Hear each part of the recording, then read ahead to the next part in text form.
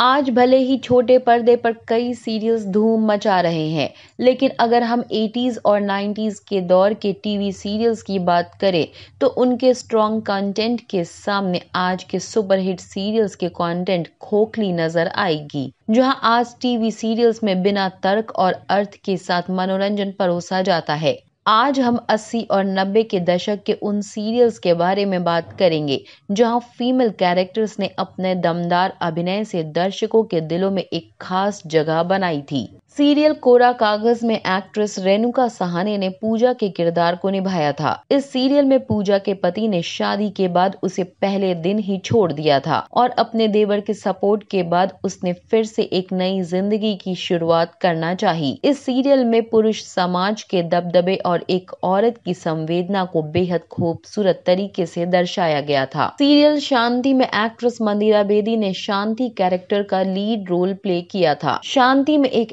Aspiring journalist के किरदार में मंदिरा ने खुद को उस दौर में एक स्ट्रॉन्ग एक्ट्रेस के तौर पर साबित कर दिखाया था। सीरियल औरत में मंदिरा बेदी ने प्रगति के किरदार को निभाया था, जहाँ एक मध्यम वर्गीय औरत को उसके शिक्षा प्राप्ति के अधिकार की लड़ाई ने सबको बेहद प्रभावित किया था। सीरियल स्वाभिमान में एक्ट्रेस किटू गिडवानी ने श्वेतलाना के किरदार से सबको आश्चर्यचकित कर दिया था, जहाँ घर, समाज और कानूनी दांव पेंच में तप कर श्वेत स्वेतलाना एक डरी और सहमी औरत से बदलकर स्ट्रॉन्ग और कॉन्फिडेंट बन गई थी, जो अपनी ज़िंदगी को अपने हिसाब से चलाना सीख गई थी। सीरियल सांस में नीना गुप्ता ने प्रिया के रोल को निभाया था, जहाँ इस सीरियल की कहानी प्रिया और उसकी शादीशुदा ज़िंदगी के ही इर्द गिर्द घूमती है। एक टूटी शादी के बाद की ज़िंदगी को बेहद संजीदे ढंग से इस सीरियल में दिखाया गया था, जहाँ प्रिया ने शादी टूटने के बाद रोना धोना ना करके अपनी और अपने बच्चों की ज़िंदगी संवारने को महत्व दिया।